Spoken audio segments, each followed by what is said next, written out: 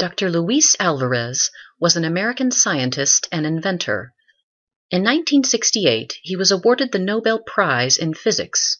He is remembered as one of the most brilliant and productive experimental physicists of the 20th century.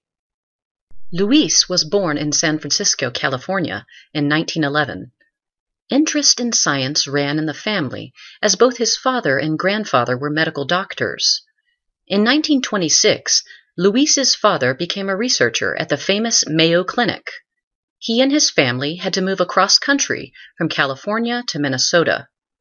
After Luis finished high school, he went to the University of Chicago, where he first learned about physics, or the study of matter and its motion through space and time.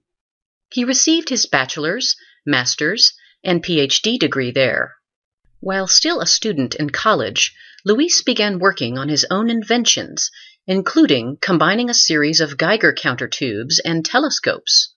In 1936, Dr. Alvarez and his wife received a telegram.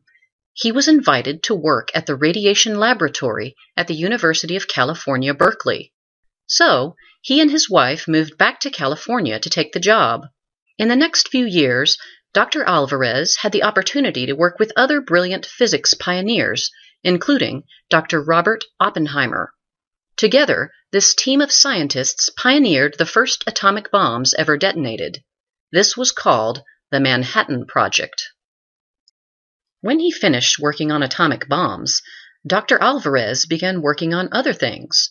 He designed a liquid hydrogen bubble chamber that would allow him to conduct lots of experiments to examine the movements of very small particles. In 1968, he won the Nobel Prize for his work. But winning the Nobel Prize in Physics was not the end of Dr. Alvarez's dreams or his work. For the next 20 years, he worked on many other interesting projects. One of these projects was the use of X rays and spark chambers to search the Egyptian pyramids for hidden chambers. But that's not all. In 1980, Dr. Alvarez teamed up with his son, a geologist, to explore the reasons why the dinosaurs became extinct. At the time, no one knew for sure what had brought about the death of the giant dinosaurs millions of years ago. Using research on the multiple layers of rock and silt from long ago, Dr. Alvarez and his son proposed the theory that a giant asteroid crashed into the Earth.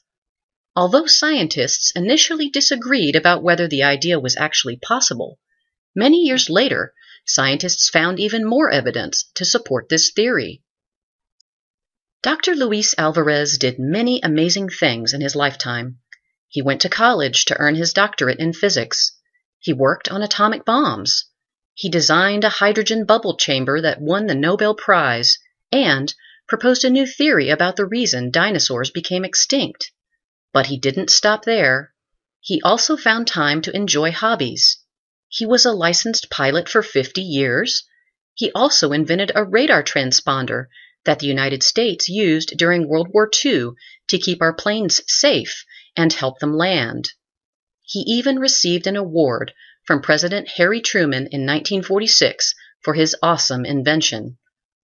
Dr. Luis Alvarez truly was a pioneer and a man with many talents and interests.